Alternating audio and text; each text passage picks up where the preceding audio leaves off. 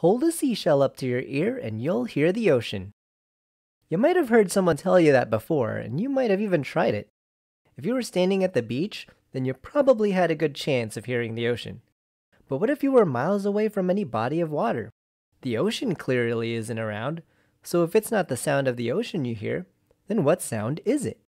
To find out, we're going to dive into some shell acoustics and resonance.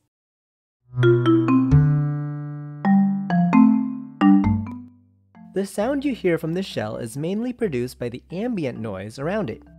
Sound waves that make their way into the shell continually bounce off the hard, smooth surface and eventually make their way back out.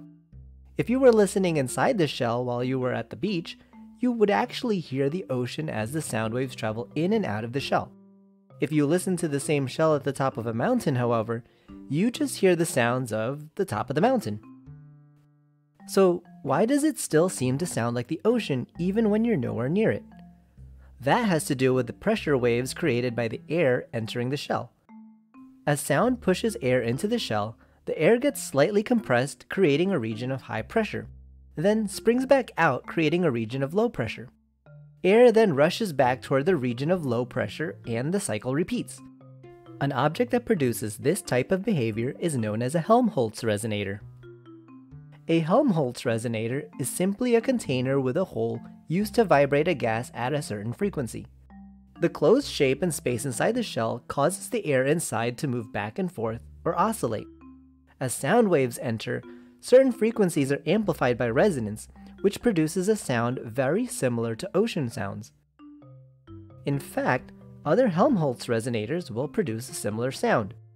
Try putting your ear to the opening of an empty bottle or a cup. The pitch may be different, but the effect will be the same. Next time you come across an empty shell, listen closely and appreciate some shell acoustics. You may hear the frequencies of sound around you that you may have otherwise missed.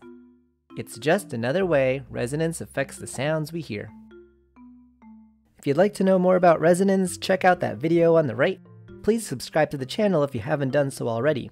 I'd also like to get your suggestions about future topics, so please leave those or anything else that you want to say down in the comments below. I'd really appreciate it. Thank you all so much for watching. For now, have a great day, stay safe, and see you guys next time.